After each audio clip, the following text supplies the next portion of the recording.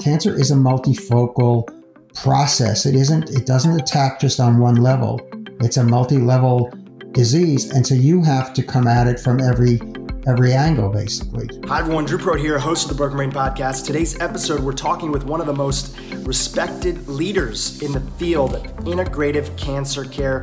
His name is Dr. Ralph Moss. I believe in him so much that a few years ago, many years ago, almost eight, my mom was diagnosed with early stage breast cancer, and I put Dr. Moss as one of the individuals on her integrative cancer team to help her achieve her best health and beat cancer and keep her immune system strong. I want to report that she's doing fantastic today, and a lot of that is because of Dr. Moss's guidance. We're going to be talking with Dr. Moss about the current state of the union of cancer care that's out there and how there might be some parts that are good, but there's some other parts that are the bad and the ugly, right? The good, the bad, and the ugly. We're gonna have an honest conversation about those so that you can be more empowered if you ever knock on wood, I hope it doesn't happen to anybody who's listening, but we know by the stats that most likely it will. If you're ever touched by cancer, if your family members are touched by cancer, this is the guy and this is the episode that you want to listen to.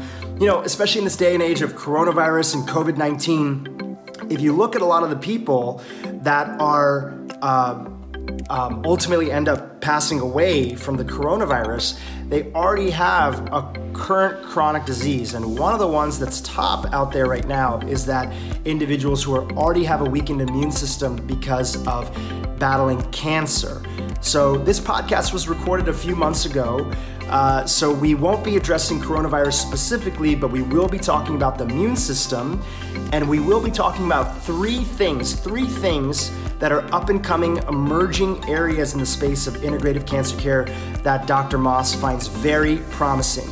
So, number one, make sure you get his free ebook. It's in the show notes below. And number two, uh, pull out a notepad because you're going to enjoy today's episode. Here we go with Dr. Ralph Moss. Welcome to the Broken Brain Podcast, where we dive deep in the topics of neuroplasticity, epigenetics, mindfulness, functional medicine, and mindset. I'm your host, Dhru Purohit, and each week my team and I bring on a new guest who we think can help you improve your brain health, feel better, and live more. This week's guest is Dr. Ralph Moss. Dr. Ralph Moss received his PhD from Stanford University and was the former science writer and assistant director of public affairs at Memorial Sloan Kettering Cancer Center in New York. Since leaving Sloan Kettering in 1977, Dr. Moss has independently evaluated the claims of conventional and non conventional cancer treatments all over the world. For the past 25 years, Dr. Moss has been producing Moss Reports, which can be found at mossreports.com. And the Moss Reports are a unique set of documents that give readers an unbiased and in depth look at conventional and alternative treatment options for the most common cancer types. His latest book, Cancer Incorporated, is a blistering critique of the cancer drug business and shows how big pharma's deceptions have caused suffering and cost lives. Dr. Moss, welcome to the Broken Brain podcast.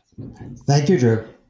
Pleasure to be and here. I wanna, and I want to thank you for taking such good care of all the different people that I've sent over your way because you also do phone consultations. And one of the people that you've done uh, numerous phone consultations has been my mother, Darshana Purohit. Shout out to my mother who got diagnosed with breast cancer uh, a few years ago. And one of the first people when we were setting up my mom's team uh, that was guiding her on what treatments would work best for her and what alternative treatments we could bring in for her breast cancer was yourself. So I want to thank you for helping me take care of my mom, who's doing fantastic and is in remission.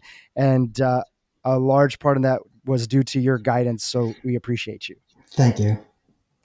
I want to start off in the beginning. Take us back to 1977 and give listeners a little bit of an idea of your backstory when it comes to the world of cancer.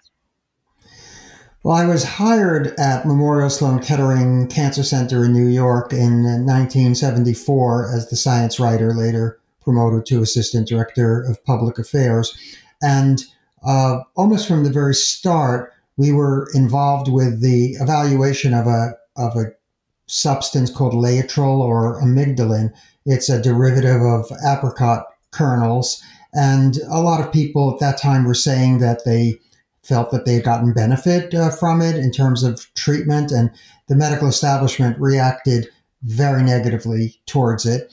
Um, we at Sloan Kettering uh, had a statement that I gave out saying basically that it was worthless and people shouldn't turn to that instead of to you know reputable science. When I went up that summer to interview Kanematsu Sugiura, who was the uh, oldest and most uh, senior researcher at Sloan Kettering. And in the course of the interview, I asked him, of course, what he was working on. And he said, I'm working on amygdalin.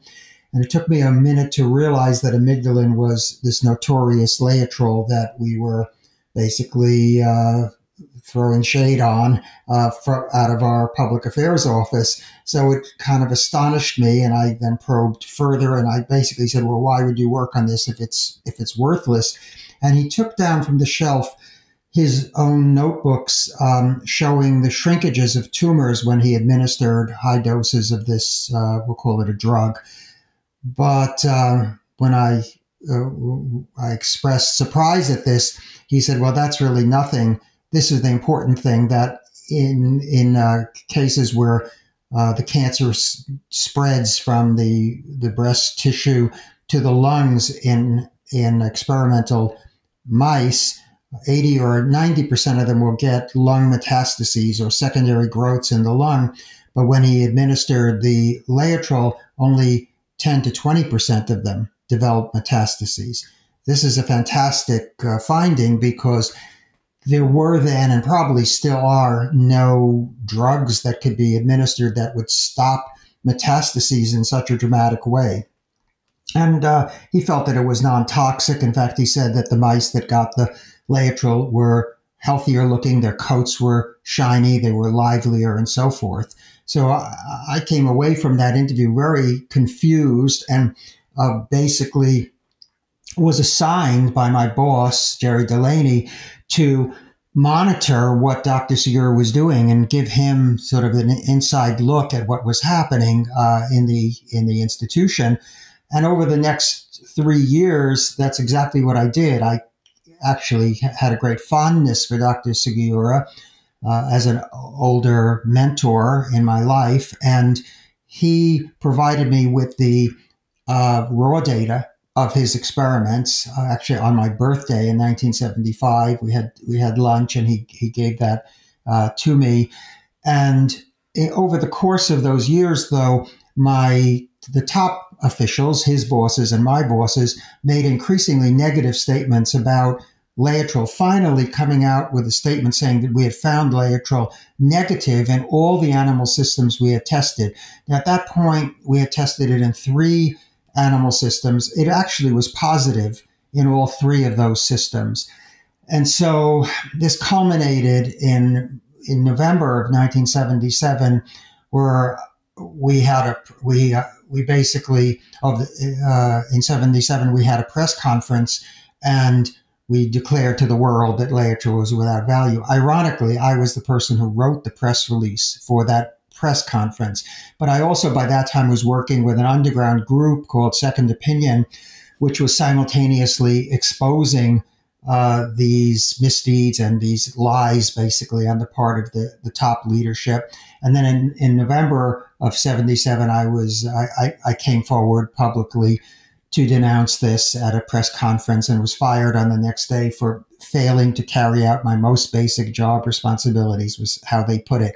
So since that time, I've been involved in uh, a project, if you will, a self directed project to understand why things like this happen, to document what actually happened, which I did in my book, Doctored Results, very thoroughly about five years ago, through a film called Second Opinion.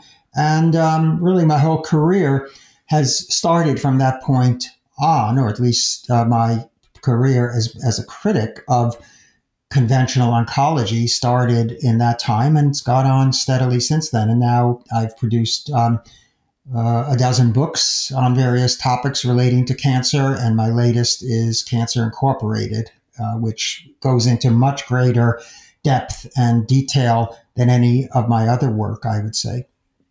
So I want to jump in and go back to that moment where you were fired for uh, basically coming back out and saying that this press release saying that the effects of this study that was done were negative when in fact there were some promising effects. And people would listen to that and say, wow, is this a cover up? Is this a suppression? And what's the motivation behind the higher ups who are choosing to go down that path of saying that something is negative when actually there was some positive research behind it? Well, I think the motivation differed from person to person. It basically was uh, fear and conformism and pressure put on them. I knew, of course, all of the the leaders of Sloan Kettering. My job as science writer brought me into contact with basically anybody I wanted to to interview and talk to. It was a great job, by the way. Um, but uh, some of them were convinced believers in in the uh, in the promise, let's say, of Laetrile and wanted to go full steam ahead with the research in an honest way. That would have been the people, Lloyd Old, who was one of the vice presidents of Sloan, um, Robert Good, who was the president of uh, Sloan Kettering, was very adventurous in his mind, but um, basically afraid for his job because he had overspent on the immunology program and was being undercut by American Cancer Society. And Lewis Thomas, who was the president of the entire center, told my boss, now this is second or third hand, but I'll just repeat what he what my boss told me. I'm not going to die on the barricades for Laetrile. It's only a palliative drug, meaning it only stops metastases. If it was a cure for cancer, I'd go to bat for it, but because it's only a palliative drug, I, I'm not going to ruin my wonderful career over it. So I think the motivations differed from our point of view, from this Memorial Sloan Kettering point of view, though, I think fear was the main thing. They were afraid of the damage that was going to be done to their beloved institution by advocating for something that was just hated by the establishment as a whole. In fact, you wrote in 1980, you say the suppression of unorthodox methods and the promotion of orthodox approach, the orthodox approach, takes place mainly at an objective, unconscious level. It's sort of like you're saying that even though this is happening, it's not a grand conspiracy that's out there with a uh, few people that are pulling the strings. It's just a favoritism towards what feels like is established and backed by the big companies, and a non favoritism towards what feels unorthodox in the approach to cancer. Yes, I think that's correct. I've never found, that I followed this issue very uh, closely, uh, I've never seen proof of a, of a, a uh, conscious center uh, from which the suppression of uh, complementary or alternative medicine emanates. So, uh, if you're making a, a grand conspiracy theory, you have to somehow come up with some uh, plausible explanation for where that's taking place. Plus, there's a common sense objection, which is that the uh, people who are involved in this suppression are themselves prone to get cancer. Of the four leaders of the cancer of my uh, former institution, Sloan Kettering, three of them died of cancer uh, subsequently. So uh, obviously, there's no known cure for cancer that's being suppressed. I think we could say that with certainty. But there is pre- there is extreme prejudice against alternative treatments, and I think it's become clearer in the past uh, over the past forty years since I wrote those words that there is no c- classical conspiracy, but on the other hand, every every prejudiced action favors the interests of big pharma. So the ultimate goal, regardless of how how people saw this subjectively at the time. The ultimate goal was to create a thriving industry where there were many patented drugs that basically could you could charge whatever you wanted for, and it created a hundred and twenty billion dollar industry. Can- the cancer drug industry is about a hundred and twenty billion dollars. So. Uh, whether they intended this, how conscious they were of this, we're not privy to those, you know, internal documents. I have seen some documents that would indicate that the smartest people, the most far-sighted people, did understand that they were sitting on a potential gold mine in the sense that people will do anything to get their hands on an effective cancer treatment. And all you have to do is promote it in such a way that people believe that it's effective. And then you you're all, you're all the way you know ready to run to the bank with the with the proceeds. But it, I don't think it was a conspiracy. Uh, I don't think it's been proven that it was a some grand conspiracy. On the other hand, as I say in in my new book, um, when we see the behavior of pharmaceutical executives around, for instance, the opioid catastrophe, there are conspiracies. They do exist. And I think everybody recognizes that now. And these people are being finally being held to account. So would I be shocked if it turned out that one or another company was actually plotting against the alternatives, which do to a certain degree threaten their profitability? No, I wouldn't be so shocked. But the, the burden of proof is on the people making the claim, and they don't have the goods. They don't have the proof that such a thing exists. And I, I don't think we should, you know, sh- shout fire in a crowded theater, as it were, unless and until we have some something substantive to be able to prove that such a thing is going on. But the suppression okay. takes place at a at a at an objective level because the purpose of these companies is to maximize their profits and to to grow. And alternative medicine gets in their way because it's not very profitable. It's somewhat profitable, but it's not it's not super profitable the way that patented pharmaceuticals are super profitable. In fact, yes, and we're going to talk about that. You know, talk about how certain chemotherapies and interventions can cost up to a million dollars a year or a million dollars to implement for a patient, which brings up the whole question of even for some of these drugs, before we get into the question of their effectiveness, which is where we're going to go next, is that even are they accessible for the vast majority of people out there? You know, one of the reasons of the many that I really appreciate your book, Cancer Incorporated, which just to give a quick plug for, and we'll talk about at the end. You're making it available for free as an ebook. Uh, ebook. If people want to download on the web, they can go to Moss Reports and they can find the link in the show notes, and anybody can get access to this information. Uh, if you want a printed version, then you pay. I think it's like twenty bucks. It's out there. So for anybody that wants that, you can go to the Moss Reports and get it. But for Cancer Incorporated, one of the beautiful things that's there and why it's so important that we want to do a podcast on this is that it doesn't do us any good to blame everything and the dysfunction on a vast conspiracy. Besides the fact that we don't actually have any proof and it's it's there's no proof that's out there it doesn't do any good to believe in that because you skip over all the nuances and the details that show you just how dysfunctional the the big pharma can be especially when it comes to cancer so before we dive into that topic, I want to read a quote uh, or stat that you shared in your book, which is let's talk about the current state of, of like the current state of the union for cancer. So you said the overall death rate from cancer adjusted for the aging of the population fell by just 5% between 1950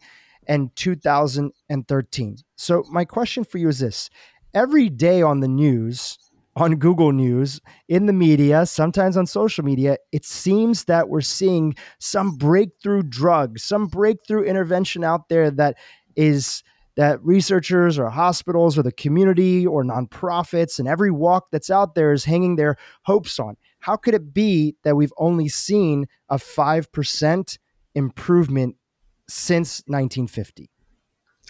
Well, the vast majority of the advances that are touted over uh, the internet. I mean, there's just a steady stream of press releases and news stories and so forth. The vast majority of them either are taking place in the laboratory or, or else they, they measure the success of the treatment by bogus uh, yardsticks. So uh, you can dismiss the laboratory research, that's to say cell line research and animal research and so forth, ter- not dismiss it in terms of its potential value, but dismiss it in terms of its relevance to what will happen to the average cancer patient when they go in for treatment, because the vast majority of those things, for a variety of reasons, never pan out.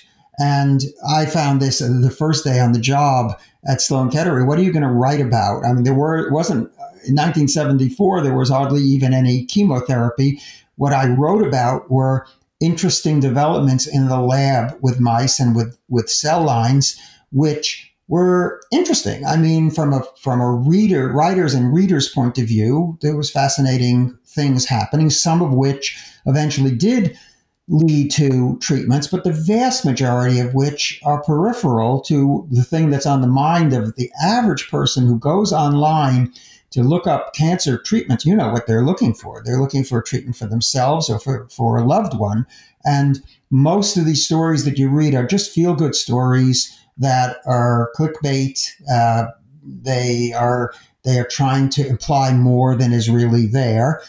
And then the second big mistake is that even when you're dealing with clinical uh, trials, the results of clinical trials, you have to be very careful because they use the word survival in unorthodox ways, at least from the point of view of the average person, the, the lay person, and even for many doctors, you'll see this drug increase survival by eight months. Now, you drill down into that story, either the story itself or you go to the actual scientific paper.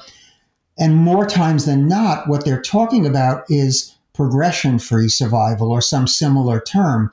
This is not what you think. This is not increasing your lifespan or the lifespan of the patient. It means an art, it's an artificial construct. It means the time that elapses from the time you begin treatment to the time that they record the progression of the disease. Now, you may still die at exactly the same point you would have if you hadn't taken that drug, but it's still recorded in the in the in the uh, summary of the uh, clinical trial as some big advance. Oh, they got six months or a year of progression-free survival, but the group that didn't get the drug, the people died at the same, pr- pretty much the same point that the people who did get the drug. So it's a bogus uh, measure. It's a way of, of tricking people really into thinking that uh, they'll live longer if they take the drug. But in most cases, that's not so. Um, they there's the only thing that really matters in cancer are cure when it's possible, or, um, or, or, a, or, a, significant increase in the median overall survival, which means the time you actually live from the time that you start the drug, and rarely discussed uh, improvement or at least maintenance of, of a good quality of life. Those are patients, what are called patient-centric benefits. They're they're centered around what what good the patient is going to get out of the treatment. But many times, probably the, the, the great majority of times, when they talk about uh, benefit, when they talk about survival, they're not talking about living longer. They're talking about this meaning, basically meaningless construct. Then they, the drug, under the impetus of the drug companies, they tried to tell us that, oh, uh, progression free survival is a surrogate or a stand in for overall survival. Many, many people, you know, will say this. They have no proof of it. In most kinds of cancer, there is really no solid foundation for saying that increasing progression free survival will make you live a day longer. But the drug companies love it because they can shorten the testing period from five years for overall survival down to two years, uh, a complete testing. And that gives them three more years and since the uh, to market the drug, and since every month is precious to them, it's a big scam because they basically get this accelerated approval from the Food and Drug Administration and similar agencies around the world. They can start selling their drug. It's oftentimes uh, they're making $100 million a month every month that they can shave off the approval process. Some of these drugs now earn over 8, 8 billion billion with a B dollars per year. Um, and so it's just a way of accommodating the drug industry. And this was mostly forced on the FDA against their the wishes of the people at FDA by the Congress, which is heavily infiltrated, as everybody knows, by uh, big pharma lobbying. uh, to the tune of millions and millions of dollars. So it's a big, a big uh, scheme uh, that basically comes down to almost destroying the FDA's original gold standard, which is proving increased overall survival through randomized controlled trials. That's the that was supposed to be the standard by which drugs were going to be judged and approved. That's mostly gone now. And even when you do get increased overall survival, the actual benefit, and this has been proven many times, is between three and four months of increased survival for people with stage four uh, advanced uh, cancer. So even when you do get increased survival, with rare exceptions, and we should and, and, and can talk about those the exceptions, but for the com- most common kinds of cancer in the stage four, the conventional drugs either don't increase the patient's uh, overall survival or else offer a minimal amount of, of uh, increased living lifespan. So let's zoom out even a little bit further before we go further down those criticisms. Let's take a step back and just ask the most fundamental question why are so many more people getting cancer today? When you look at the landscape and the growth of cancer historically, especially here in the United States, what are your thoughts on why are so many more people getting cancer and being diagnosed with cancer today and why it continues to grow? Well, I'll, I'll, take it even a step back further from that. What do we really know about the origin of cancer? we know that certain elements in the in the environment tied to pollution and to life lifestyle are powerful stimulators of development of cancer. The, the foundation of our knowledge about the cause of cancer is the tobacco situation. We know that hundreds of thousands of people, really over the course of, of the last century, hundreds of millions of people around the world have died as a result of tobacco uh, ingestion. I mean, smoking and uh, you know chewing and so forth. So this is this has been known for a very long time. I discovered an article uh, of tobacco as a cause of mouth cancer, hundred cases in published in a, in a leading journal by a by a leading surgeon in 1915. So this is nothing new. This has been known basically for anybody who is a good reader of the medical literature for 100 years. It was in the cancer textbooks uh, starting at least in 1928 that tobacco was a cause of lung cancer and uh, many other cancers. They, in fact, they called these tobacco cancers. So we, we know this. And so a logical approach to the cancer problem would have begun with uh, and mostly encompassed a, a, a uh, an examination of the environment and specifically uh, things that were unnatural in the environment, harmful, uh, and were had had some association with cancer. We know that this is the case with the, the predominant or the, the, the major cause of some kinds of cancer, which is tobacco, and secondarily combining tobacco with alcohol, a particularly potent mixture of carcinogens. Now, this was this was known, this was being exposed, it was in the news. There was a whole fight around the tobacco cancer thing at Sloan Kettering in the 1950s and 1960s. And the fight against the industrial or the um, the environmental carcinogens was undermined first and foremost by the big tobacco, the, the tobacco industry, and and so when it came time to form the war on cancer, what did they do? The people who formed the war on cancer were themselves attached to, tied to in various ways the tobacco industry. And the first leader of the war on cancer, 1971, 1972, a man named Benno Schmidt Sr., his only job in life was to be the, the assistant and the chief investor for Jock Whitney, who owned $50 million, inherited $50 million in 1928 in tobacco stocks. So, whether that's coincidental or not, the war on cancer pivoted away from the good start that we made in terms of understanding carcinogens, environmental carcinogens, towards the search for a cure.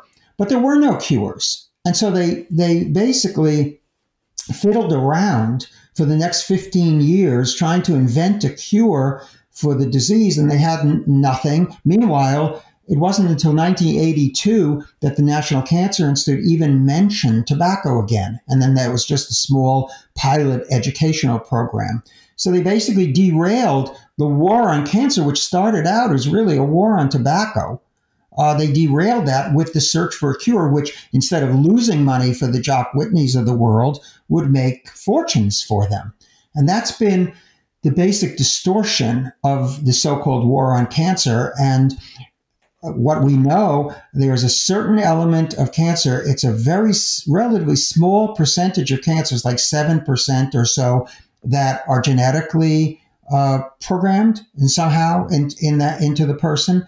But overwhelmingly, which, which, uh, which, which sorry to, to just interrupt for, yeah, here. Yeah. I, I, I think that's a super important point because most people still today, when you survey the landscape, still think of cancer as primarily being a genetic thing separate from smoking as oh my parents had cancer oh my grandfather had cancer right. i mean it still seems that that's very pervasive out there in the world i'll say i'll say and that that line is pushed by people who don't want to change uh, lifestyle or change the structure of industry and uh, and horror of all horrors maybe do away with an industry that's killing tens of millions of people namely uh, tobacco so, and that's not the only one. I mean, we've seen this this play out with asbestos and with other things as well. So, you have a few cancers, like like uh, certain kinds of uh, colon cancer, are caused by a preceded by a condition called uh, familial polyposis that where people are prone to get you know these growths. And so, I'm not I'm not saying that um, that genetics doesn't play any role at all, but it's been vastly overestimated, and the public has been sold on the idea that cancer fundamentally is a genetic disease, which I take on a bit in in my book uh, Cancer Incorporated. But we know from vast experience with the, in the medical and scientific literature that uh, lifestyle choices and industrial pollution are a far bigger element in terms of the cause of cancer, yet it, it's gotten nowhere essentially. And for a long time, it was one individual, Sam Epstein, who sadly passed away a couple of years ago. He was a professor at the University of Illinois. He sort of carried this whole movement on his back. I mean, it was an incredible uh, achievement of Professor Epstein, but um, after he passed away, basically, you know, it almost disappeared. You don't see articles, I don't, in the paper about the industrial causes of cancer. Uh, you maybe in alternate media you do, but not in the mainstream media. So it became like all about the cures, and the cures um, essentially what it came down to, with a lot of false starts, became this very high tech uh, genetic manipulation, where presumably the, the the task at hand was to sequence the genome of the cancer, and that's to say the genetic code of the cancer and of the normal patient, and then isolate the mutations within cancer, target those mutations with drugs, and voila, you know, your cancer is going to be in remission. By and large, uh, and this is government policy, by the way, this was the, the Cancer Moonshot and the Precision Medicine Initiative of uh, of President, President Obama. But by and large, this has been a bust. And I give the details in, in my book uh, for what has actually been achieved, or rather not achieved, as the NCI, National Cancer Institute, has gone looking for uh, ways to just use the genetic information of a tumor uh, as the basis for a treatment. Uh, this hasn't worked. Um, and I don't think it's going to work. Plus, the numbers, the, the financially, is just incomprehensible because you have 1.76 million new cases of cancer every year in the United States, and to test a person's genome for the so for the most common cancer mutations costs about five or six thousand dollars as it as things currently stand. So now you do the math, and you'll see that I, I did it the other day, but I think it's like a hundred a hundred uh, billion dollars to test everybody in the United States for um, for their genome to sequence their genome, and then you would need drugs to approach every one of these mutations. Well, how many mutations are there in cancer? You you can't get a straight answer, but I think 360 would be a very conservative estimate, and maybe we have what 20, 30 drugs already existing that target mutations, specific mutations. So, as you discover these mutations, you're going to have to come up with drugs for each one of these. But the cost of developing a new drug, on average, depending on who you talk to, it's between about 650 million dollars to about 1.2 billion dollars per drug. So now you're going to have to develop hundreds of new drugs just in order to target these mutations. And as James Watson pointed out 10 years ago, uh, cancer is very wily. So if you suppress these mutations, the, the cancer itself mutates then to a new form in order to get around your blocking of its growth pathway through these drugs. So it's an almost insoluble problem. And we can see the results of it. There's the NCI NCI Match uh, big clinical trial and a number of other uh, big clinical trials that are underway, it doesn't work. It doesn't work. I mean, in some and cases, why, there's no results, and in most cases, the mediocre results. And why you're putting so much emphasis on that is that, again, back to Cancer Incorporated and the industry and the business of cancer, we're really hanging a lot of the future hopes and dreams when it comes to making a dent in how many people have cancer or how many people get better from cancer and a cure for cancer on this approach. And if this approach is not working, it really or doesn't look promising because of that, it's important for the listeners here who almost every single person listening has somebody based on the stats has somebody touched by cancer it's important for them to be informed and know about the landscape because just because the media or a company might be excited about it, if we don't understand its limitations and capabilities, it's hard to make an informed decision on what treatments you want to do for yourself or the or your loved ones.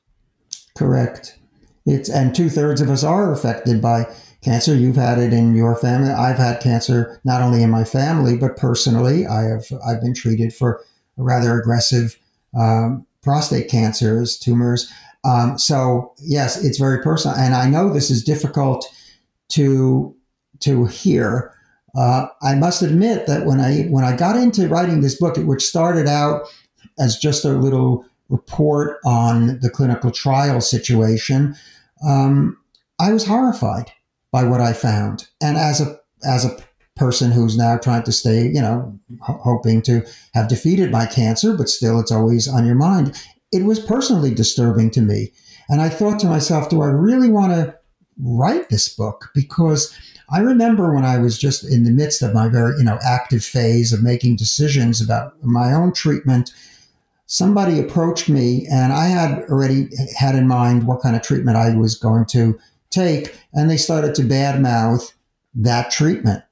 And I just couldn't hear it. I couldn't listen to that. I mean, it was just like a visceral reaction I had. Just I, I didn't want to ever talk to that person again because it was disturbing, so disturbing. Now I think I made the right choice. I here I am almost five years down the road and it hasn't recurred. So I think probably I made the right choice. But I understand if people find this information disturbing. But on the other hand, as I said, sometimes in life you have to take stock of what your actual situation is. That's why I go in and I have PSA tests done twice a year. It's why I have MRIs done every year because you still want to know, even though your peace of mind is maybe tied up with the idea, well, they these doctors have it all in hand, they know what they're doing, they're brilliant people, and so forth.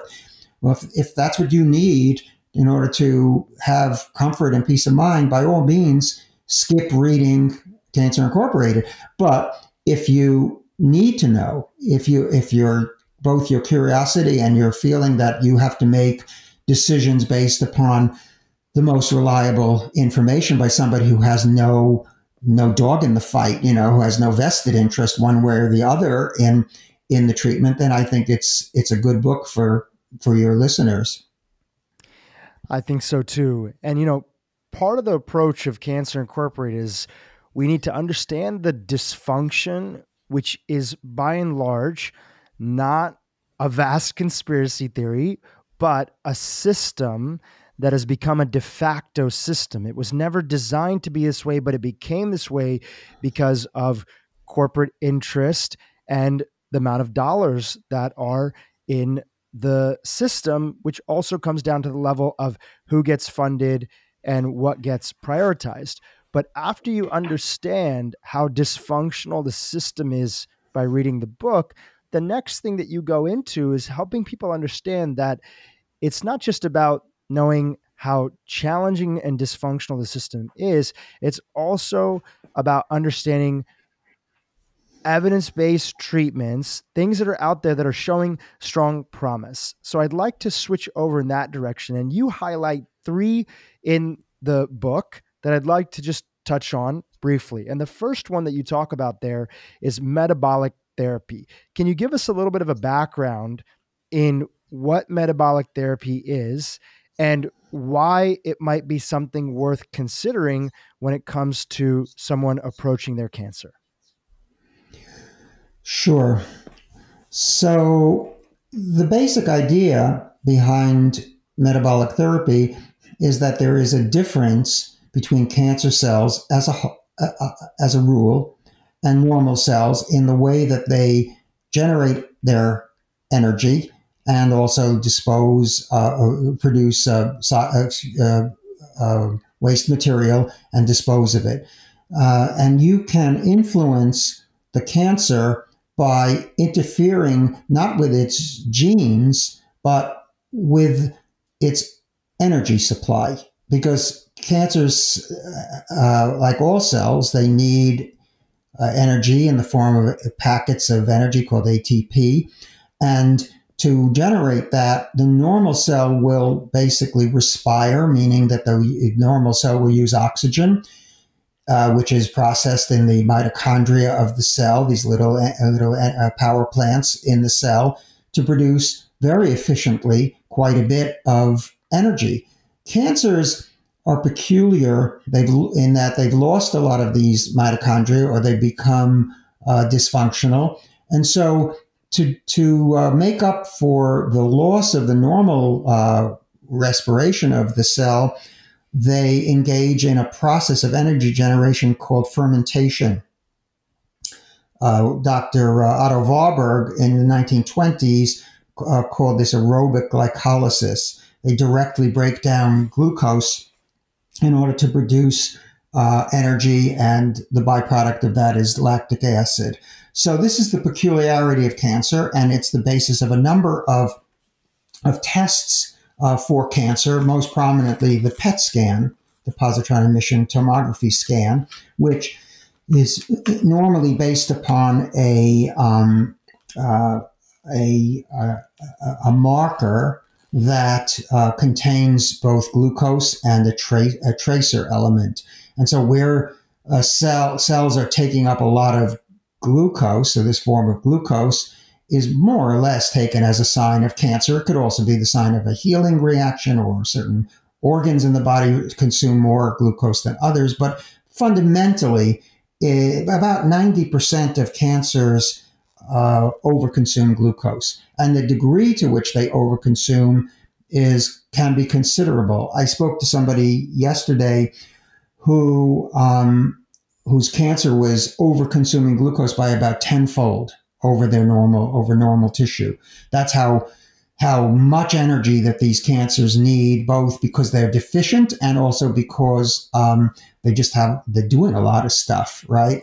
Growing very fast and trying to metastasize into other organs and so forth. So you've got you've got a handle now, and this has been known since 1924, but you see that there's a handle on the cancer and there are people who would go even further and say, well, this actually is the fundamental flaw within cancer. Uh, on a biochemical level or a cellular level, it's the it's the failure, uh, the the the the, uh, the abnormality of the energy generating process that then leads to the genetic changes. And if this seems far fetched to you, I very strongly suggest that you read Thomas Seyfried's book, Cancer as a Metabolic Disease. It's a medical textbook.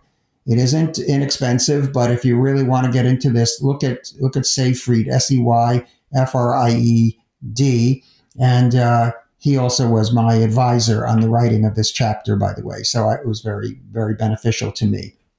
But this is a different approach. This is not the geno- the usual genetic slash genomic approach.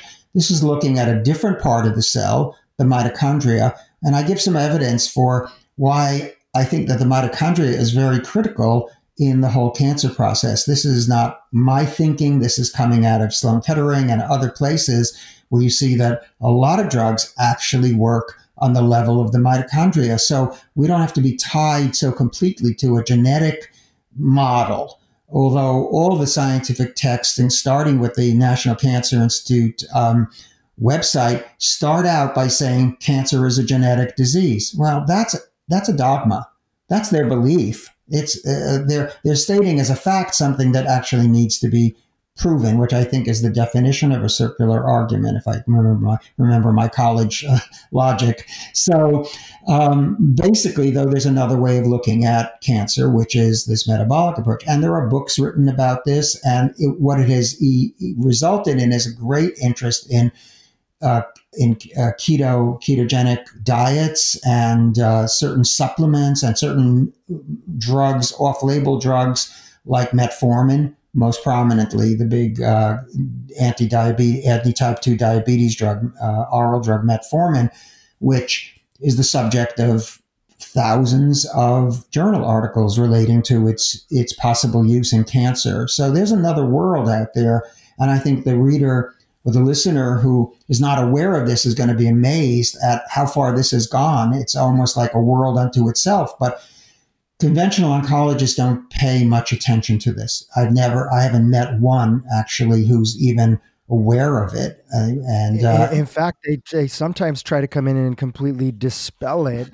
And we should remind listeners of the podcast that it can take anywhere between 12 and 17 years before things that are in the literature make their way out to being practiced, even though a lot of functional medicine doctors who are reviewing the landscape and researchers like yourself are reviewing it and, and weighing out the pros and cons of doing something like this, especially when it comes to uh, this this um, this first topic of one of the intervent you know approaches that you had mentioned, metabolic therapy. There, there, there are also to go back to what, how I started off. There's websites like if you search, you know, like Mayo Clinic, and it says should people with cancer avoid or minimize sugar?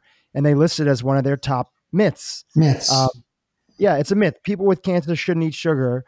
Uh, it's a myth. Sugar doesn't make cancer grow any faster. Fact. It says fact. Sugar doesn't make cancer grow any faster. And obviously, Mayo Clinic is one of the most respected places that are out there. And that answer is based on what the understanding was before of the information. Well, I guess I even share it this way.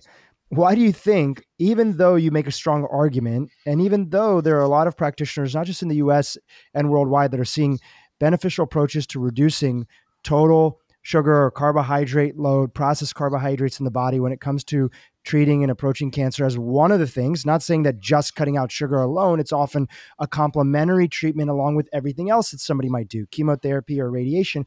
Why is it still that you have clinics like the Mayo Clinic saying, fact, sugar does not make cancer grow any faster? Right.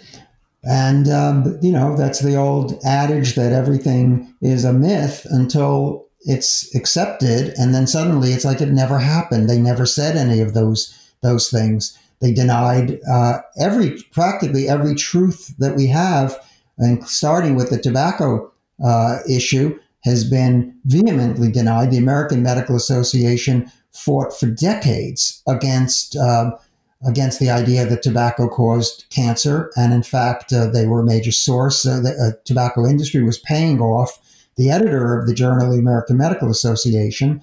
I would just say this you know, the irony is that you go to a place like Mayo Clinic, and if they want to detect your cancer, they're probably uh, going to give you a PET scan or a PET CT scan. The agent they're going to inject into you is called FDG. FDG is sugar, tied to a tracer molecule. They're going to look then, an hour later, they're going to look and see which tissues take up the sugar. And the areas that take up the sugar, meaning the FDG, are, are then highly suspect for being cancerous. Guys, just think about this. They're defining the cancer, defining it, defining its malignancy by the whether or not it takes up sugar and the extent to which you know the sugar the sugar gets into the, is take is sucked up by the cancer molecule your one department is using sugar fdg sugar to define find and define the cancer and another department the propaganda department is putting out statements saying sugar has nothing to do with cancer so i don't know how to deal yeah, with and in their answer they do. Oh, sorry. Go ahead. I don't know how to deal with that kind of dysfunctional thinking. Yeah, and you know, for anybody that's following along, you know, because because the, Mayo Clinic, you can just Google it. Does does uh, cancer and does sugar increase the growth of cancer cells? And it's not that simple. There's a lot more that's in there. But uh, Dr. Moss, you do a great job in your book, Cancer Incorporated. Uh, again, the link is in the show notes. Anybody can download it for free on the web, or you can buy it uh, for pretty cheap. Um, you go through the history of it, the understanding why it was uh, tried to get discredited, that understanding how it's making a comeback. Uh, all, all I know is this: is that in the field of functional medicine, when individuals and practitioners like Dr. Hyman and um, the practitioners at the Cleveland Clinic Center for Functional Medicine, uh, at our, or our medical center, the Ultra Wellness Center, when they work complementary with people who have cancer, it's a regular part of the protocol uh, that that they are uh, reducing the total level of sugar that's inside of there. Even for my own mom, they reduce the total level of sugar that's yeah. being consumed, even from processed carbohydrates that are there, uh, based on an understanding of the literature and as part of the uh, additional therapies that are there. And if you want a further breakdown of the science, again, read the book Cancer Incorporated uh, um, that I mentioned earlier that you can find in the show notes. So let's let's switch topics to a sec uh, to the second item. You know, to a protocol that you talk about, which is also a big part of your work, which is going out to different cancer cancer centers throughout the globe and seeing what they're doing because there are some interesting approaches in in Japan and especially in Europe. And one of the protocols that you talk about in the book that is one of the treatments that deserves more uh, more attention and there there is some promise that's there. It's not a single treatment, but it's an approach, and it, I believe it's called the Kleef protocol. Can you describe uh, this protocol and why is it that you wrote about it in the book Cancer Incorporated? I can, and it also I think at the same time I need to um, describe the other third treatment uh, that I that I describe in the in the book. Um, just give me one second.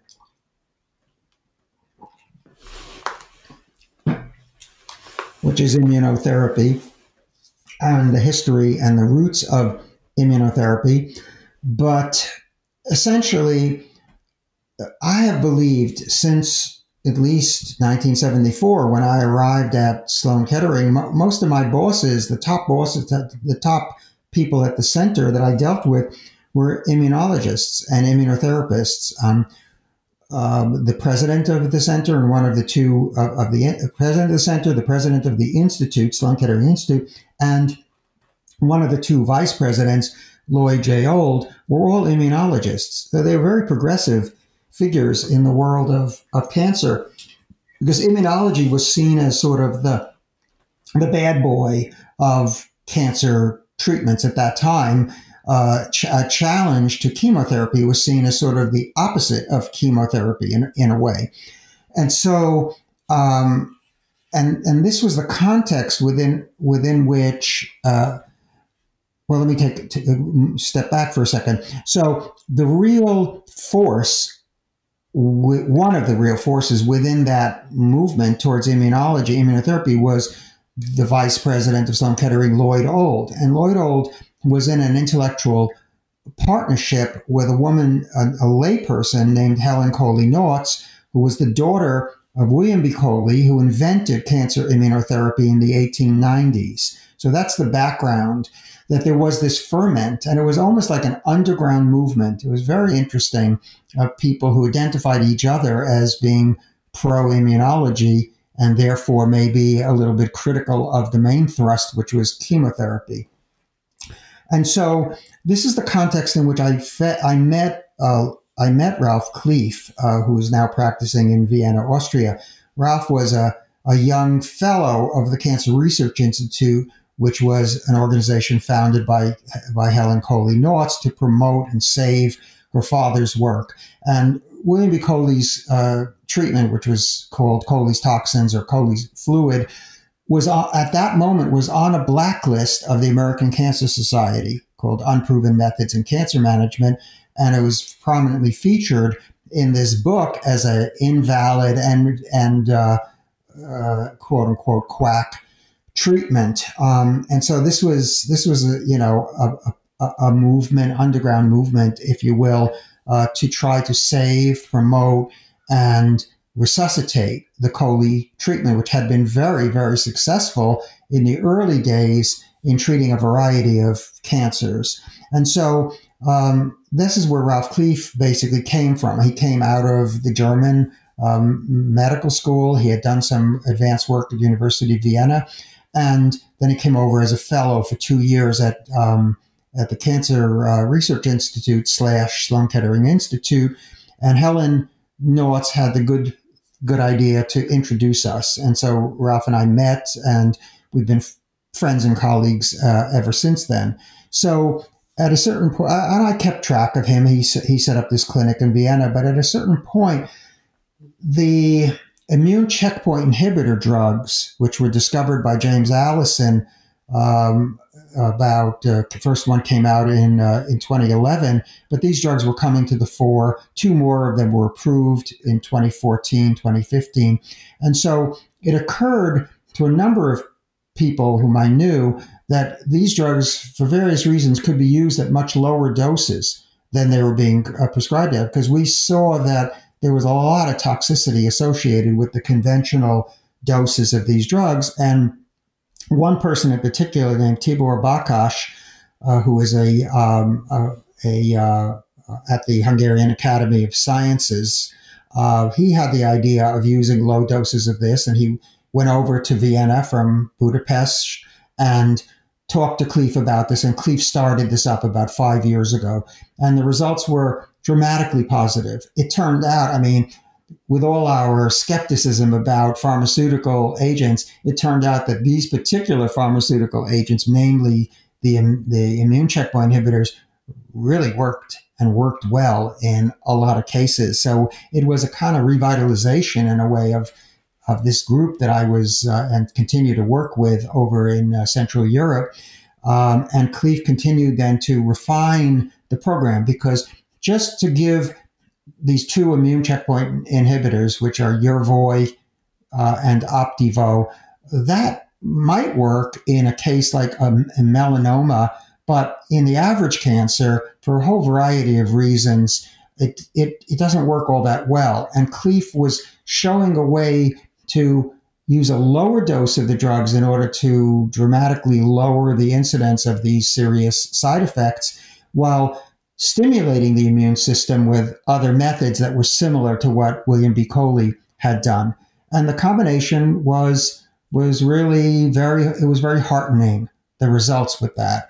I can't talk to, in too much detail about it because the paper describing the first I think it's 137 patients, but that paper is actually at the, um, you know, being submitted uh, right now to um, different journals. And so uh, it's a little premature w- without having a, an actual publication to talk too much about it. But I would say that what it proves, what Kleef's experience proves, is that these drugs, which are amazing advance in oncology, will work just about as well, if not better, in the low dose as they do in the high dose. And in my book, I go to great lengths to prove this through, I think, four separate publications uh, coming from top cancer centers like MD Anderson and uh, and other places that basically show there really isn't much difference in responsiveness um, to these drugs if you use a, a, very low dose or a very high dose. It's more like an on off switch, like a toggle switch, rather than a volume switch. So it's hard for oncologists to sort of wrap their heads around this, especially if they were trained in the era of classical chemotherapy, where you try to give maximum tolerated dose of a drug, practically kill the person, and then bring them back from the brink of death. This is this is classical chemo thinking, but immunology is not like that. The immune system may just need a nudge in the direction of uh, of reorienting itself to take on the uh, the cancer. Um, and so, while I pay great homage to James P. Allison, who is the head of immunology at um, at MD Anderson, also, by the way, now heads up the same organization that Lloyd Old and Helen Coley Nauts uh, founded.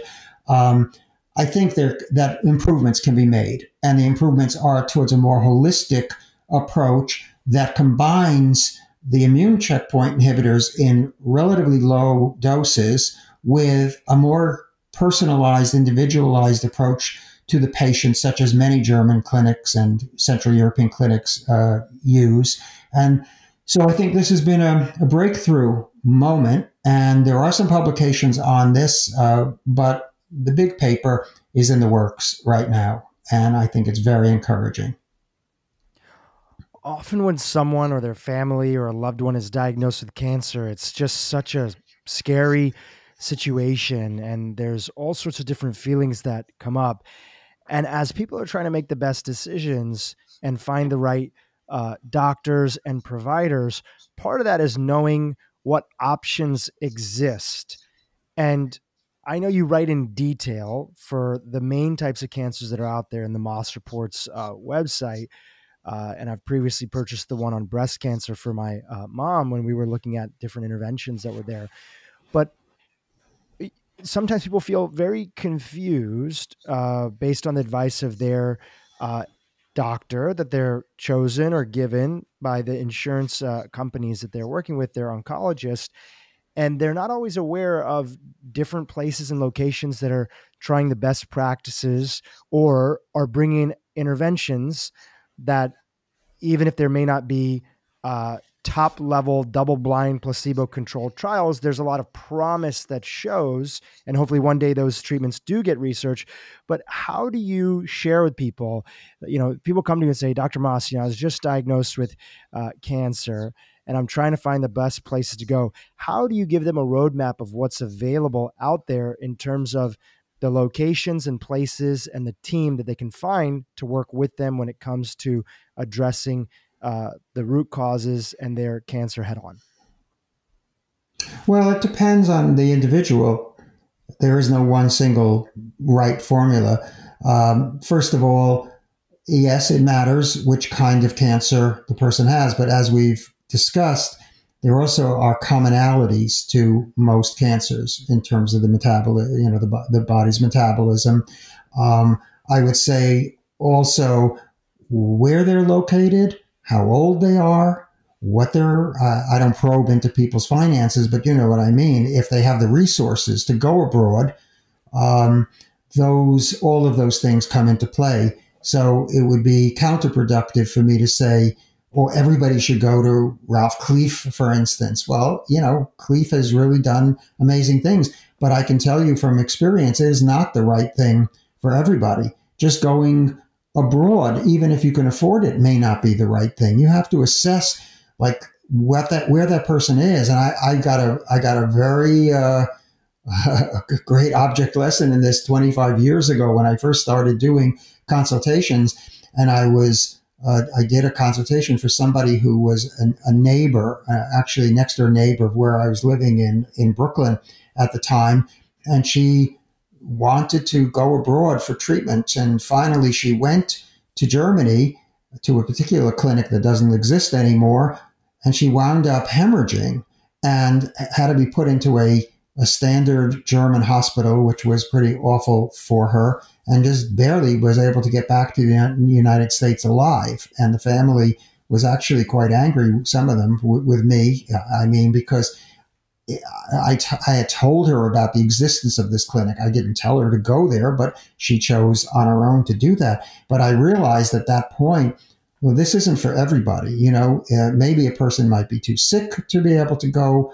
They might be it might be too dangerous for them to fly. You know, there's many considerations, and so I would say that it when I do consultations for cancer patients, I'm drawing on 45 years of experience of having traveled to what 20 25 countries and made 18 separate trips to to Germany alone so I'm drawing on that knowledge in order to try to match people up to something that's doable and feasible and then of course I just have to leave them to their own devices in terms of making contact with those clinics and trying to establish a, a good rapport with them so I'm not saying that there's any one magic formula here um, it's basically uh, a matter of individualizing, which oncology is supposed to do. You know, they're supposed to be do practicing personalized medicine, and I rarely see that happening.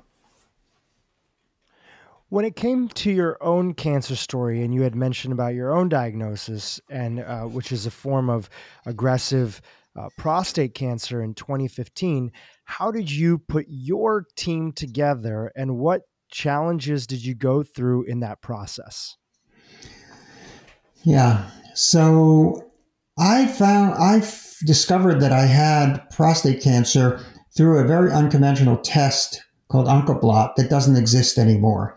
Uh, my wife and I both took that test and she came up clean, thankfully, and I came up unequivocally with prostate cancer, with having prostate cancer. And sure enough, you know, when I went to my uh, urologist, I was living in central Pennsylvania at the time. She assured me, no, with complete assurance that I didn't have uh, prostate cancer. Uh, she couldn't feel anything. The PSA was uh, was elevated, but it had been elevated for many years. So she said, and even if you do have prostate cancer, it's you'll die of something else. You'll die with it. I think is how she put it, not not of it, uh, which is kind of a dogmatic statement that, people sometimes get. Well, I wasn't satisfied with that. I wanted to, because I believed in this Oncoblot test, still do, um, but it doesn't exist anymore, unfortunately. But uh, I decided, well, I'd go and get an MRI. And she wrote a prescription for an MRI for me. Um, but I wanted to get the 3T MRI, the, the most advanced at the time, the most advanced MRI. And I wound up at a, let's just say, a top rated urological urology department at an Ivy League affiliated um, hospital. I, I don't need to mention which one that was.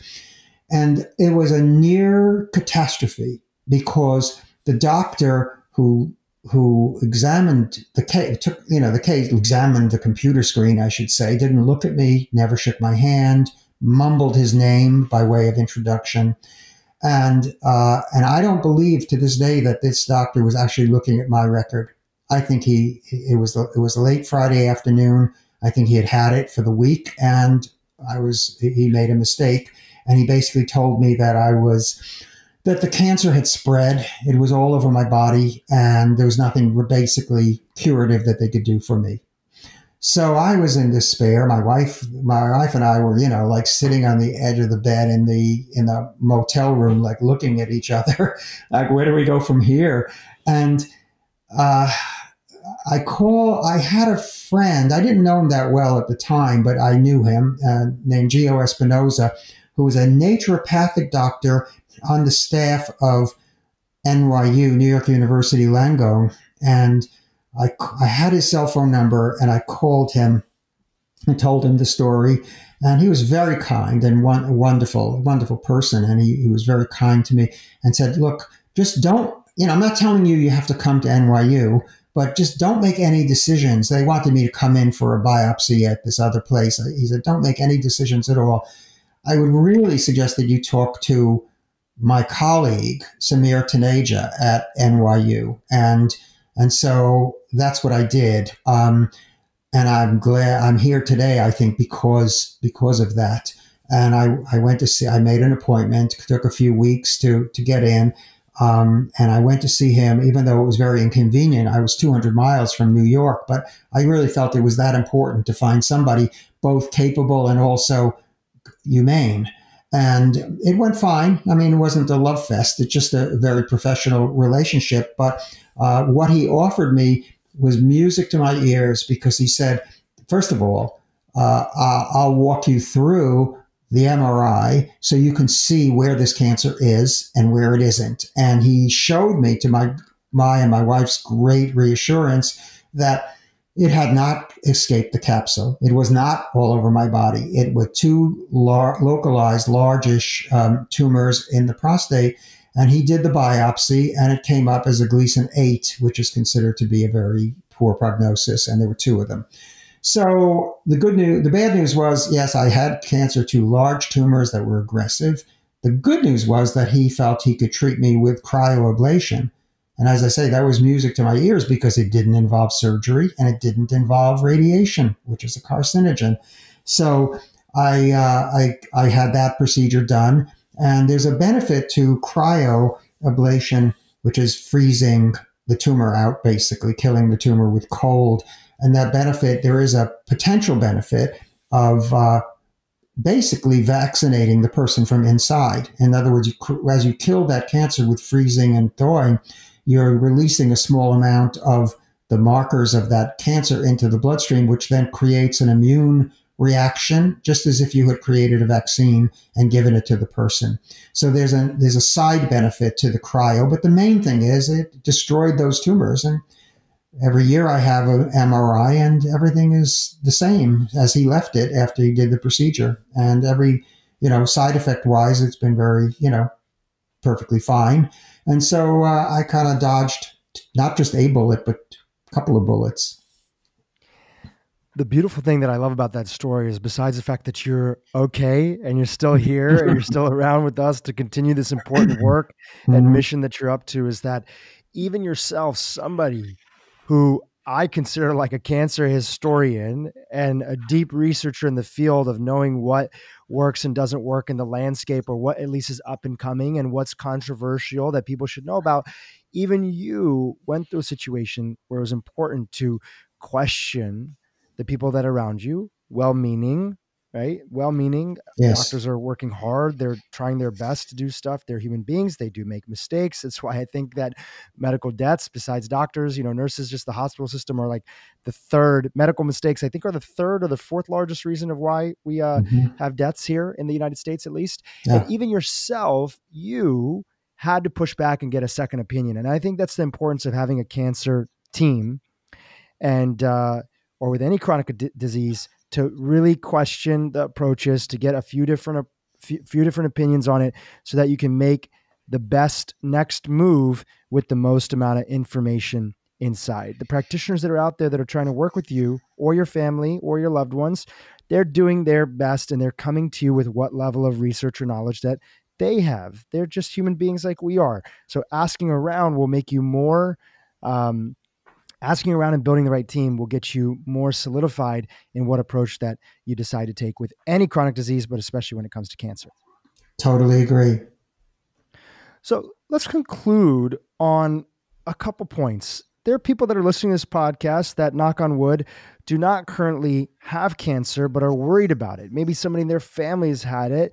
And even though they know that it's not purely genetic, they're wondering about their own ability uh, to develop the to develop cancer in the future because they've seen the stats.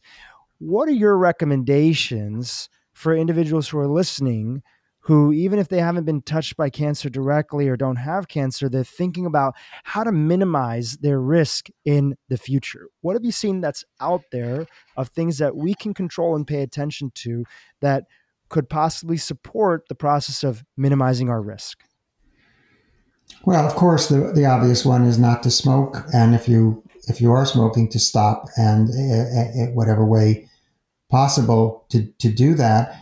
Um, drinking and smoking is almost a prescription for developing certain drinking alcohol, uh, certain kinds of cancer, um, and I think also there's something going on with the standard American diet. Um, the the amount of carbohydrates of junk, uh, so-called garbage, uh, in the in the diet. I'm not saying that you have to adopt an extreme ketogenic diet, which is essentially from the point of view of uh, overall health and so forth, is not really proven, and certainly not proven in the case of cancer. But I do believe that if you look at our diet compared to a traditional diet, uh, it's out of whack.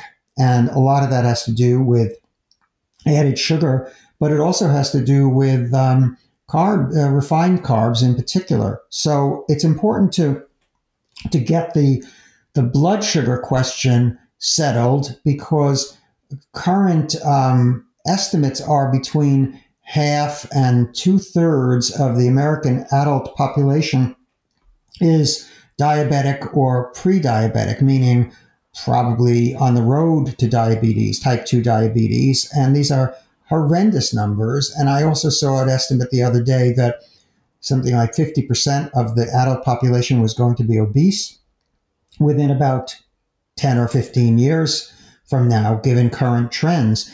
What does this have to do with cancer? I mean, first of all, uh, there is a heightened incidence of cancer um, among people with di- type 2 diabetes. And secondly, if you go back to our discussion about sugar and cancer, uh, the, the, cancers thrive on sugar.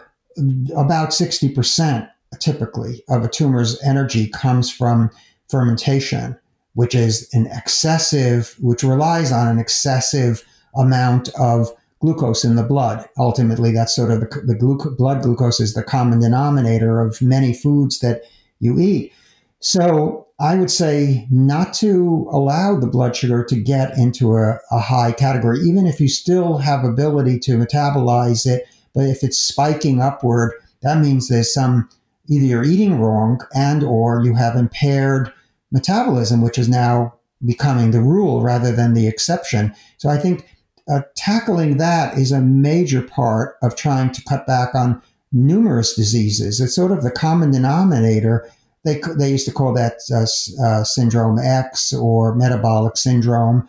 And it's so common, especially in people like myself who are basically sedentary, you know, writing books. Uh, it's hard. Well, I mean, I guess you could get a treadmill and write while you're treading or something, but I don't do that. I just, you know, sit around and write my book. And sometimes in the middle of the night, I'm up editing and so forth. So, uh, you know, the same issues for everybody, but it's a good idea to, whatever your condition, whatever your age is, to, to get a lot of activity, get, get in as many steps as you can uh, during the day, and try to eat on the low carb end of things. You don't have to go uh, straight out keto, but you can you can minimize your uh, your basically your carb intake. And I would say, if you're really concerned about this, get a glucose monitor. It's only about 20, 25 bucks. Um, I like the, the FreeStyle Lite one uh, from Abbott. And the strips are, I don't know, maybe a dollar a piece. And But if you take your morning glucose test for a few days in a row, you'll see pretty well you know, how well you're doing. And you may already be in the you may already be in the um, in the pre-diabetic range, which is like between 100 and 126, is considered pre-diabetes, depending on how high you are. And this is a clear indication if you have a repeat score fasting glucose in the in the morning, if you have a repeat score in you know in the 100s or the 110s, you're already having some impairment probably in terms of your ability to metabolize uh, food, especially carbohydrates. This relates to cancer in numerous ways, but you can die from other things, and it's also an indicator of, of, of high risk for other causes of death as well. So, this is very important, and you don't have to be a diabetic in order to uh, get a glucose meter and take that test. It's available to anyone. And as I say, the cost is is very reasonable for doing this, this sort of miracle machine that, that so many people now rely on. And then you'll know where you stand. And that's remediable. If you have, if you have pre-diabetic uh, between losing weight, dieting, and stepping up your activity level, should bring that under 100 and put you back into the normal range. Now, 83 is some people consider that to be the optimum uh, score in terms of morning uh, glucose. But even if you're around that, you're you're you're fine. You've got good metabolism. But don't ruin it by having a lot of sweets because you can spike your glucose upward for a certain period during the day, and then if you've got a fairly strong metabolism, it'll come down again the next morning. So you won't pick up on the fact that you actually had some dangerous moments there. And with all due respect for the Mayo Clinic, I think they're way off base about this question about the relationship of sugar and cancer. And there's a wealth of information to to prove that. You know, one of the tests that you mentioned earlier that you used actually for early detection, which no longer exists, is called Oncoblot. Mm-hmm. And uh, I'm not fully aware of all the reasons why that test is no longer available, but part of the cancer treatment approach is also how do we discover and find it earlier. Are you aware of anything that's out there that's on the horizon or coming up on the horizon that might help us uh, detect cancer earlier for our listeners who are interested in that? Well, there are tests, and we're getting better and better at that. Um, so, called liquid biopsies and so forth. I, I would look at some websites um, of companies offering that sort of testing. Foundation Medicine, which is owned by Roche, one of the top ten, top nine or ten drug companies in the world. Uh, they offer a variety of tests. People could look at that. I think you know you can get heads up. You can look for circulating tumor cells, for instance, and see if there is if there's a abnormal number of circulating tumor cells. Then there is a strong suspicion that there's cancer, and you could work with your doctor to try to isolate where that might be isn't always easy. Um, and in general, I prefer MRIs over CAT scans. I, I prefer uh, ultrasound over over X-rays for the simple reason that they don't involve radiation. And radiation, although it's absolutely necessary in a lot of situations, but it's also overprescribed. So I would say um, you know that one could one could look for these things but the most important thing is to modify your lifestyle your smoking or non-smoking your your drinking habits and your food intake and um, and also by the way keeping a, positive outlook on life. It's underest you know underestimated in terms of the importance of that because the the mind and the mood were, uh, has an effect on the on the immune system, and the immune system is absolutely important in terms of uh, resistance against cancer. Even though this this theory of immune surveillance has taken a lot of hits over the the, the uh, half a century since it was um, first propounded, the idea that the immune system exists in order to uh, fight, resist, and kill cancer cells. But there is an element of truth to that. I would say this also that when you have next time you go for a checkup, make sure that they do a complete blood test. And there's one number in particular that's particularly uh, telling, and that is the absolute lymphocyte number. This is very important both for cancer patients and for people just who want to maintain good health, because there were studies done at uh, University of Texas MD Anderson Cancer Center showing that people who had an absolute lymphocyte number of 1800, sometimes written as 1.8K, uh, had much better survival uh, when receiving immune therapy than people who didn't. So I take that as a hint that there is sort of a, a baseline number that you want to be at. It just so happens, com- completely coincidentally, that's exactly what my score was the last time that I looked. I didn't I didn't do anything in particular to make that happen. It's just coincidentally that it turned out to be that. But if mine was dipped lower than that, um, I probably would t- more aggressively take mushroom supplements like Orient, like Asian mushrooms, like maitake, shiitake, and uh, oyster mushrooms, um, like as a broth or even as a supplement, uh, because mushrooms are medicinal. Uh, the Asian mushrooms are medicinal, and they particularly have an effect on the immune system. So I want to make sure that my immune system is uh, is kept you know in good shape as I do like any abnormality. And I think if you've got a good naturopath or uh, a uh, functional medicine doctor or just a, a an aware, um, sympathetic uh, physician uh, or other practitioners that they can look at your blood scores um, and be able to say, well, you're a little low on this, or I'm a little concerned about the elevation of this liver enzyme, or whatever it is, and then use non toxic things like supplements and botanicals to try, and primarily to try to adjust those numbers. And I think this is true for cancer patients as well. I mean, I'm not saying you should just take fistfuls of supplements or antioxidants just willy nilly, you know, throw everything at it. Uh, that's not an intelligent approach. But I think uh, a doctor uh, or a either a medical doctor or a naturopathic uh, licensed naturopathic doctor, they can look at those things and be able to tweak your scores so that you remain uh, healthy while you're undergoing treatment. I want to conclude on this, and those are all great recommendations. Thank you so much for that. For anybody who's listening right now who recently received a diagnosis of cancer or has a family member who did and is going through this whirlwind of feeling lost, maybe sometimes not hopeful about the future, what's the lasting message that you want to leave for them in this conversation? Well, I think it's it's very important that you uh, assemble a, a, team or you have somebody an anchor for you.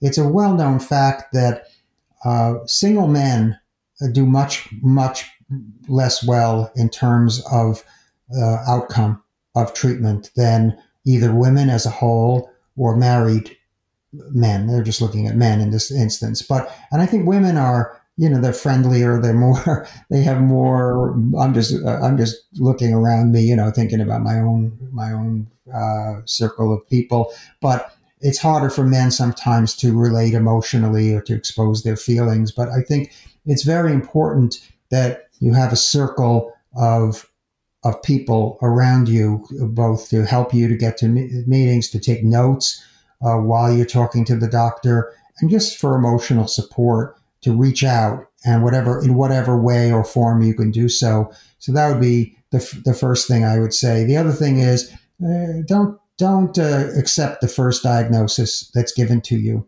Uh, the, there was a study done. It was a, a, while ago, so I don't know if it's still uh, applicable, but it's a famous study in which they uh, showed, in a blinded fashion, they showed pathologists different slides of of uh, cancer cancer patients, cancer uh, tissue, and they asked them to make a diagnosis based on this. And actually, the error rate or the different, the let's say the disagreement rate was 25% among the pathologists. And astonishingly, they would slip in some slides that they had previously shown the same doctor, and 19% of the time, the doctor would disagree with with himself or herself in terms of what the diagnosis was. So just uh, don't take the word of one person uh, or even one particular team. You don't know. There's so many errors are made, and you could wind up being treated for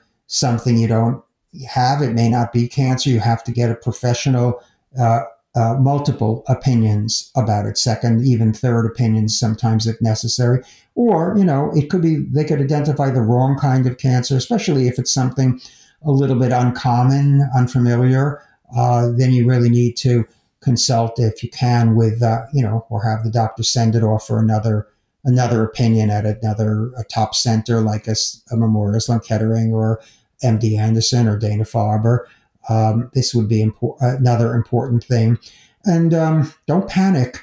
Don't make decisions out of panic, as, as, as almost happened to me, because I understand how that can come down but that could lead to a cascade of really bad effects. And I, I feel this in my own case, even though there was nothing, no particular action that they were going to take at that first hospital, uh, I do feel that I, I really saved my life, really, to get out of a bad situation.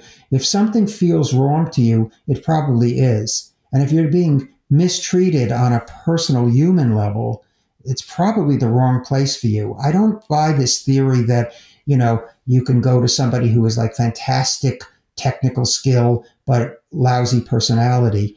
I just, I can't accept that. I mean, maybe, maybe that's sometimes the case, but I would just keep looking because um, there's somebody out there who's going to be able to both treat you humanely and uh, decently and also you know have the technical skill to be able to treat you there's a big it's a big world out there it may not even be in your own country maybe another country or maybe down the block but just demand that you be treated right and expect that you have a right to just basic human decency in the treatment. And because I think people who don't care about other people to the degree that they would be thoughtless uh, towards somebody who's obviously suffering and going through the what may be the biggest crisis of their life, I can't trust that person in terms of the efficacy of their of their treatment. So I think you have to keep looking, and I also think that every patient and I'm repeating myself a little bit here, but I, am going to emphasize this that every patient who's under good, solid medical care still needs that that we'll call it for the sake for the, the lack of a better word naturopathic element to their treatment the holistic element and that means to try to find uh, a naturopath uh, or it could be an herbalist. It could be best, you know, would be even a medical doctor who's very knowledgeable about the other aspects of treatment. It could be a psychotherapist, could be a lot of different things, but it's important that you you have a you you pursue a holistic approach, not out of some sentimental attachment to just to natural things, but because uh, cancer is a multifocal process. It isn't, it doesn't attack just on one level. It's a multi-level disease. And so you have to come at it from every every angle, basically, including is this very powerful mental slash emotional spiritual aspect to this that really reaches into the you know the deepest levels of our consciousness and our unconscious our subconsciousness so it has to be approached holistically. And then when you do that, then you're going to have self confidence in terms of getting the best possible outcome. And that's a self fulfilling prophecy because you will have the best possible outcome. Incredible advice and such important advice for everybody who's listening here. Dr. Ralph Moss, thank you so much for sharing that.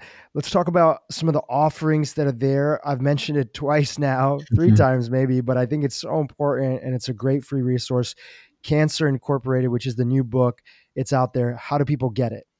They just go to our website, mossreports, one word, dot com, and uh, they can just uh, enter their email, and then they'll be able to uh, click, make a, a, click and download the book. The book will appear in their uh, in their email box, and it's a very very simple process for doing that.